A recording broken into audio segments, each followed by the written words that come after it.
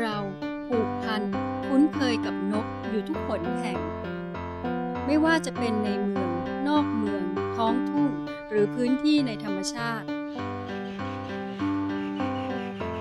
นกช่วยให้เรามีชีวิตชีวาขึ้นมาได้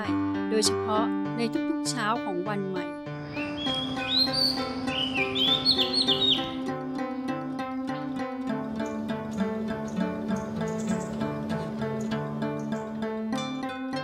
นุษย์พึ่งพาอาศัยนกมากมายในชีวิตประจำวัน แต่เรามักมองข้าม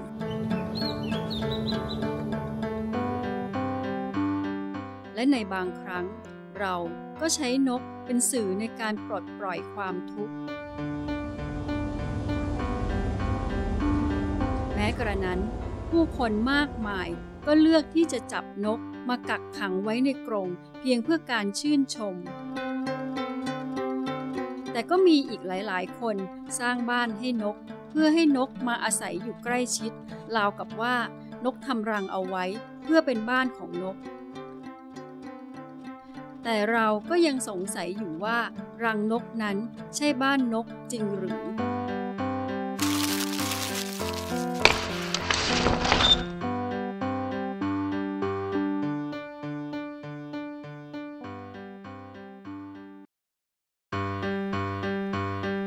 เมื่อนกเริ่มทำรัง เราจะสังเกตเห็นรังนกแต่ละชนิด บรรจงสร้างสรรรังไว้ในรูปแบบที่แตกต่างกันไป นกกระจาบธรรมดาสร้างรังจากการถักทอเส้นใบจากต้นทูบถักทอรังอย่างประณีตละเอียดอ่อน ถ้าเปรียบเทียบกับรังของนกกระจาบทอง ซึ่งเป็นนกกระจาบอีกสายพันธุ์หนึ่ง ที่ถักทอรังได้หยาบกว่ายังเห็นได้ชัด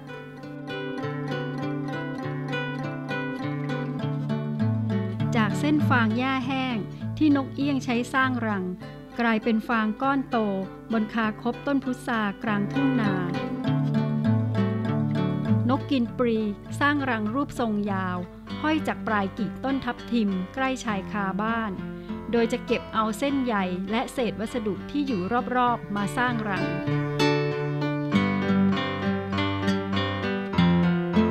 ส่วนนกเขา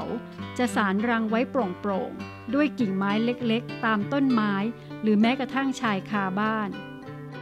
นกจาบคาหัวสีส้ม ไม่ได้ทำรังบนต้นไม้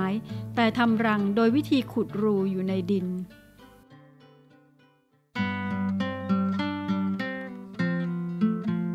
การสำรวจสืบค้น เฝ้าสังเกตการรังนก เป็นบทเรียนรู้สำคัญสำหรับห้องเรียนธรรมชาติของเด็กๆ คือกิจกรรมสำรวจรังนก เป็นกระบวนการเรียนรู้ด้วยประสบการณ์ตรง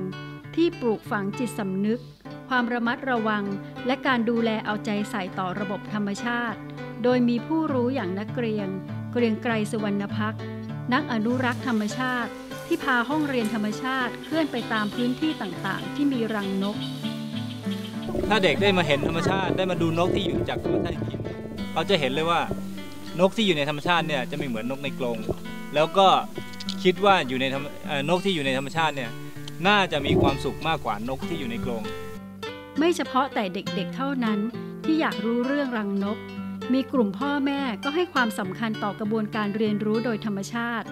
ร่วมกันแลกเปลี่ยนเรียนรู้ พากันเคลื่อนไปพร้อม ๆ กับลูก คือจริงๆแล้วพอเรามายังมีคนก็ถามว่า แล้วเราจะพาลูกมาดูนกเนี่ยพามาทำไม คือหลายคนบางทีถามคำถาม ซึ่งเราเราไม่รู้จะตอบเขายังไงอย่างเงี้ยคือเรามาดูนกเพื่อจะรู้จักธรรมชาติเนี่ยใช่ แล้วก็รู้จักธรรมชาติไปเพื่ออะไรครับ ในธรรมชาติเนี่ยมันมีอ่าความเป็นอยู่มีวิถีชีวิตมีหลากมีชีวิตที่หลากหลาย ก็อยู่ร่วมกันได้นะครับ จากประสบการณ์ตรงที่ได้สัมผัสเฝ้าดู เรื่องราวของนกทำรัง กระตุ้นความสนใจให้ทั้งเด็กและผู้ใหญ่ นำไปสู่การสืบค้นตามหารังนกชนิดต่างๆ รวมถึงการติดตามศึกษาพฤติกรรมความเป็นอยู่ของนก ครั้งนี้เราก็จะมามาดูนกกัน เราจะมาดูเอ่อพฤติกรรมของนกที่เลี้ยงลูก มันจะมีรังนกที่อยู่ในช่วงไหนบ้าง ที่น้าคิดว่าน่าจะเจอได้แน่ๆ คือนกพญาปากกว้าง นกพญาปากกว้างที่เราจะไปดูกันอยู่ที่ไหนเหรอครับ ก็เดี๋ยวพรุ่งนี้เราจะเดินไปตามถนนนะ ในปีก่อนๆที่น้าเคยเจอ มันจะทำรัง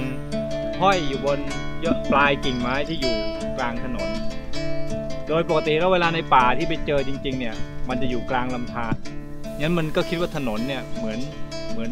ช่องว่างลำธารใช่ มันก็ทำรังห้อยมาอยู่กลางลำธารซึ่งต้องกำลังตรงข้างบนหลังคานะครับอ่าเพราะว่า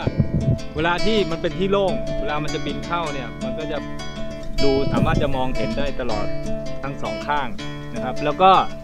ไอ้กิ่งไม้อ่อนๆเนี่ยทำให้พวกสัตว์ที่มีตัวใหญ่กว่า ที่จะไปกินลูกมันเนี่ยรับน้ำหนักไม่ได้สัตว์ตัวใหญ่จะไม่ออกไปมันอยู่ปลายกิ่งมันจะห้อยที่แดนเจอตอนนั้นมันโน้มมากลางถนน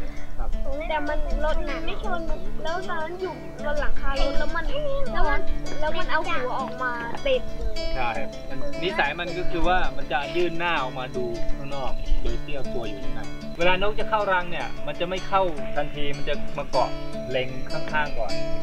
งั้นช่วงนี้เราอาจจะดูตรงมาสองอ่าใช่ถูกต้องก็จะดูว่า มีศัตรูอยู่รอบๆหรือเปล่าถ้าไม่มีก็จะบินเข้าปุ๊บ ช่วงที่นกกกไข่เนี่ยนกพญาปากกว้างกกไข่เนี่ยพอมบินเข้าไปในรูแล้วเนี่ย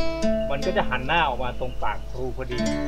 มันก็จะเป็นหน้ากลมๆของนกเต็มช่องรูพอดีนาคิดว่ารังมันเนี่ยไม่ได้ถูกใช้งานแล้วนะครับ เพราะว่า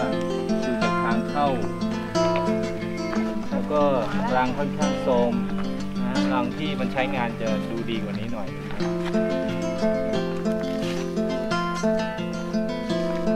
นบนพื้นถนนที่โล่งก็จะเหมือนสภาพเหมือนลำธารเหมือนกันมันเลยมาทำรังบนกิ่งที่ห้อยอยู่กลางถนนแทนรังนี้คงไม่ใช้งานแล้วเพราะว่า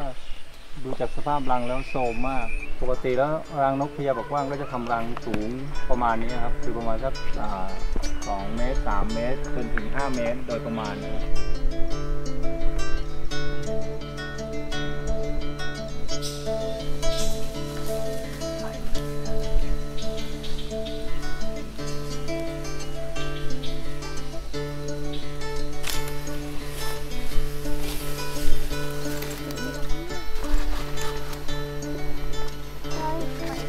และเราจะมาเฝ้ารอให้มันมาป้อนครับ ตอนนี้นกมัน